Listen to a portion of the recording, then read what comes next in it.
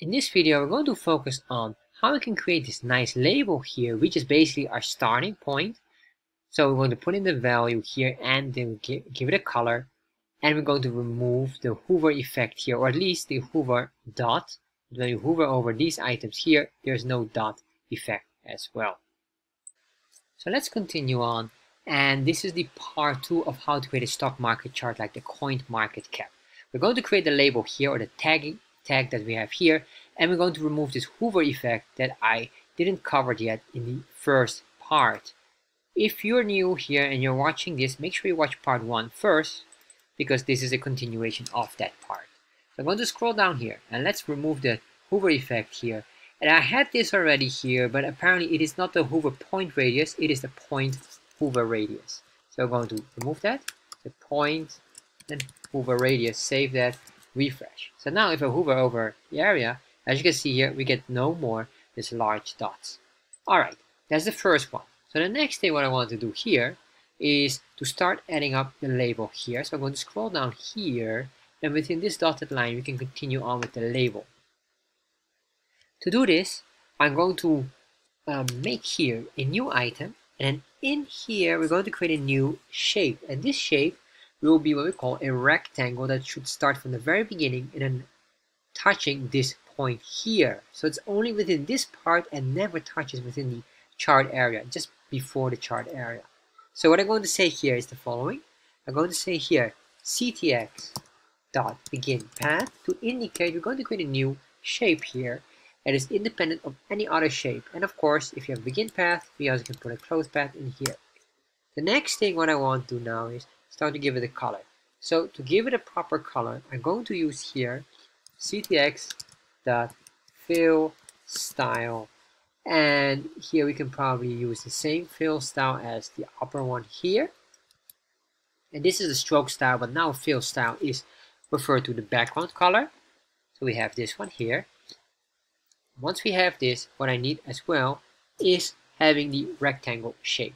So I'm going to say ctx.rect or sorry not rect but fill rectangle and this is a command that basically says I want a rectangle that is filled up with the color, whatever we have here assigned. So what I'm going to do now is here, start to do something. I'm going to put in here the value. So what I'm going to do here is the x value, the y value, which is the starting x and y coordinates. Then we have here the width and the height.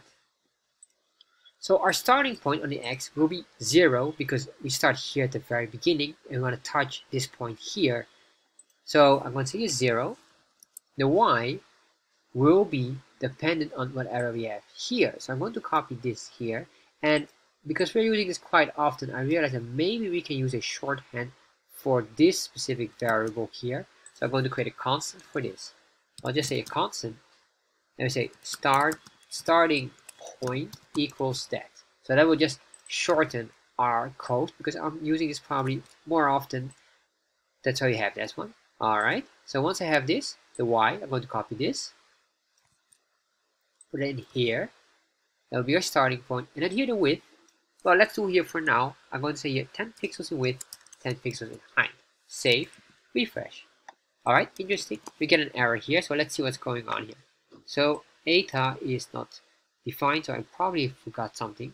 So let's say here 111, let's go here, 111, there we are. Sorry, I have to make sure that this data, apparently by copy pasting was missing a D. Refresh, there we are. You can see here it starts to match, but not entirely, or at least where it's matching is basically on the line here and then downwards. So what we need to do later on is we have to push it up, and we're going to work on that.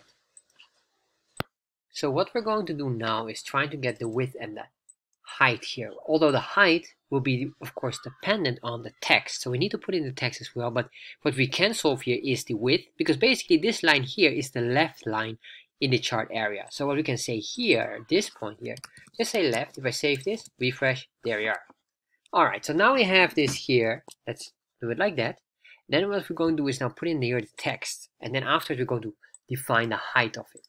So I'm going to put in enter, enter. And then what I'm going to say here, I'm going to write the text. So I'm going to say, first of all, ctx.font. So we're going to define a font. So I'm going to say 12 pixels. That's a default font size of uh, Chart.js. And I'm going to say here the sans serif as font family, which is a default font family uh, uh, in Chart.js as well. So if we know this is 12, this height here should definitely be higher than that. 12 is then some power we can do here 15 or maybe 20. So I'm going to put in 20 here if I save that, refresh. There we are. And later on we can just fine tune that one more. So the next thing what I want to do here is the following. I want to say here the color. In this case, ctx dot fill style because I want to change the color of the font and as the fill style as well so it's the full color of the entire font and we're going to make this white next what we're going to do here is we're going to say here the text that we're going to write so we say ctx fill text and what we're going to grab here is first of all the text that we want then we're going to get here the x coordinates and the y coordinates so this is very important so let's start to put in here a certain value. What we can do here, just for the sake of it, I'm going to put in here 0. So we start at 0. I'm going to say here for the y value, the y value will be of course this here, or basically the starting point, convert it here, put that one in there. So if I save this, refresh, there we are, but you will notice there is nothing. And the reason why there is nothing is because the text is above. This is basically the default way. And how can we see that? If I'm going to say here the height of this one, I'm going to deduct this with 10 minus 10, refresh, there you are. So now you can see here. So that means that the baseline is at the top here. And what I want to do is put it in the center. So basically this is the baseline. If this would be the baseline, baseline top, meaning above this dotted line. That's basically the baseline here. So what I need to do here is do some additional features. So I'm going to say ctx dot uh, text baseline. I'm going to say here the baseline will be in the middle. So basically, if you're familiar with a uh, cell, a table cell, you have vertical line, and that's basically what we're doing here. Vertical line, uh, middle, top of bottom. So there we are. Now we're in the center here, but of course the text align needs to be in the center as well. Right now it's in the left side. So what I'm going to do here, enter, ctx, we're going to say text align equals center. Save, refresh.